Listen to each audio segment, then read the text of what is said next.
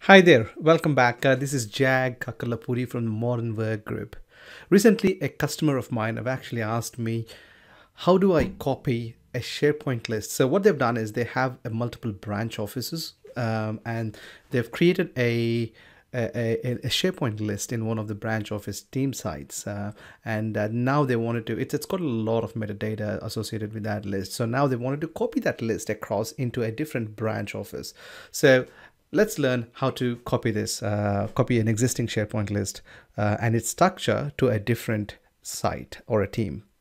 Now here you can actually see I've got a team site called Project X. So in this case, uh, I'm gonna you know have an example of multiple projects uh, you know associated and an issue log associated with it with it as well. So in my project site, I have my uh, Project X issue log here, as you can see, um, and in this issue log, uh, as you can see, it's uh, it's capturing the uh, issues that are happening relevant to that area, uh, to relevant to that project. And here you can actually see I've created this uh, issue log, and here in the issue log, I'm actually tracking which location that particular issue has erased and all other stuff as well. So uh, we will look in a different video. Uh, we will look at you know how this location field actually works. Uh, it's it's quite intuitive. This is just a recent update that Microsoft actually launched as well. Uh, if you wanted to keep track of that video, please do subscribe to the YouTube channel uh, Modern Work Group, and then uh, you know you, will you'll, you'll get notified when when that goes live. But in this video, let's look at how to copy this log to a different project. In in in my customer's case, you know it's a different branch office.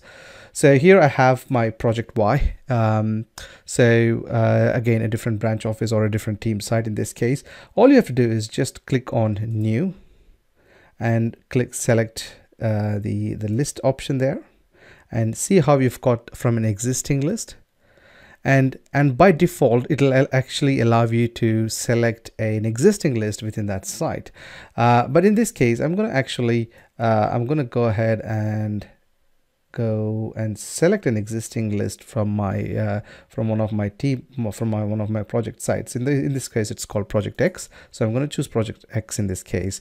And you can see it's automatically selected uh, showed in uh, the list of uh, the the SharePoint list in that case. Or it's a Microsoft list as well right? So and now you could select next. And then you'd give a project Y issue log showing site navigation and click create. And there you go. Uh, so it's now ca captured my issue log along with the the issue location field and and and the other fields that are relevant to that site uh, to that list sorry.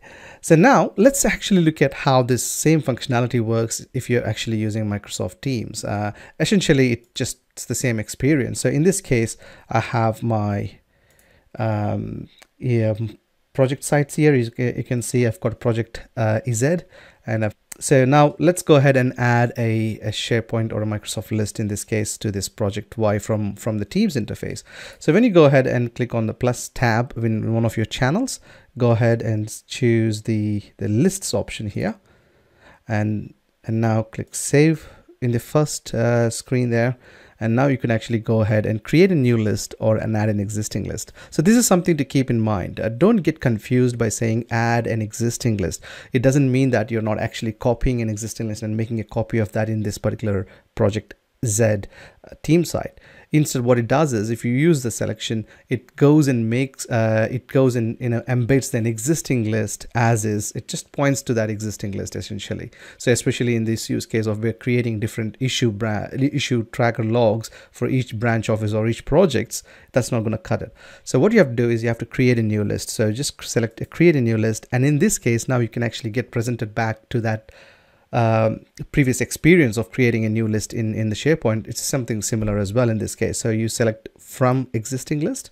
And in here, what we've done in the past, uh, we've selected, we just go to the project X again, and then you would just go and se select an existing list in that project.